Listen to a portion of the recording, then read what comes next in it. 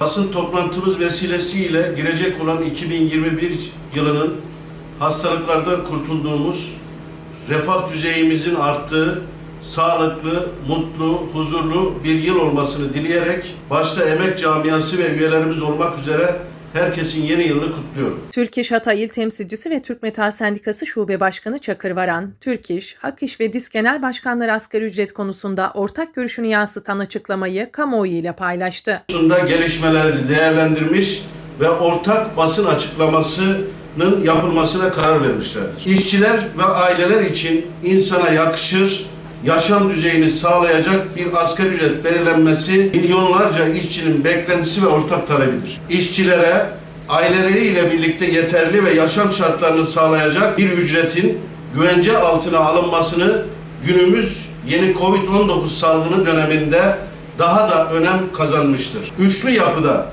çalışmalarını sürdüren Uluslararası Çalışma Örgütü ILO, askeri ücret düzeyinin belirlenmesinde işçilerin ve ailelerinin ihtiyaçlarının dikkate alınması gerektiğini önemli belirtmektedir. Türkiye'de işçi sınıfı için mücadele veren 3 konfederasyonun asgari ücretler konusundaki taleplerinin arkasında olduklarını vurgulayan Türk İş Hatay İl Temsilcisi Çakır Varan, insan onuruna yaraşır bir geçimi sağlamalıdır dedi. Görev verilen Türkiye İstatistik Kurumu'nca bekar bir işçinin hesaplanan yaşama maliyeti Kasım 2020 ayı itibariyle net 2792 TL'dir. Açıklanan bu tutarda aile unsuru yoktur. Dikkate alınmamıştır.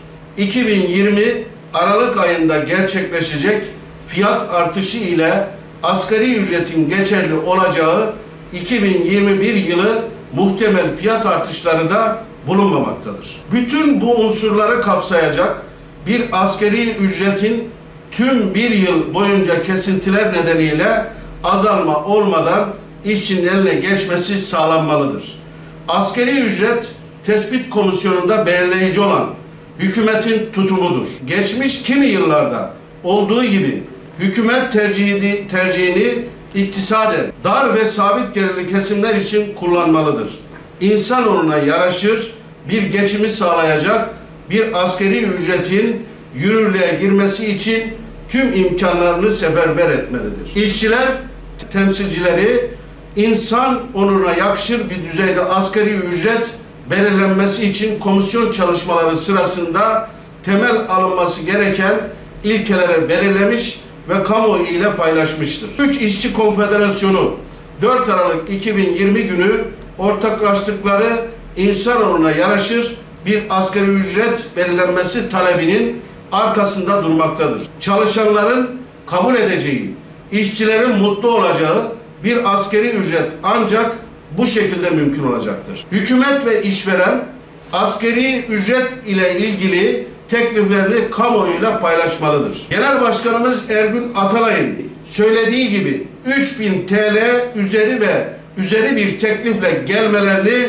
işçi örgütler olarak talep ediyoruz. Kamuoyuna saygıyla duyuruyoruz. Teşekkür ederiz.